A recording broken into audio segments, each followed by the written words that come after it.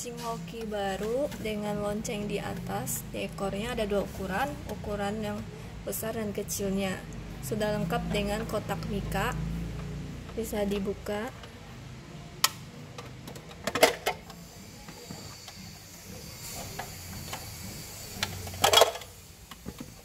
Bahannya plastik. Ekornya ada lonceng bisa dilepas bisa gerak hanya dengan cahaya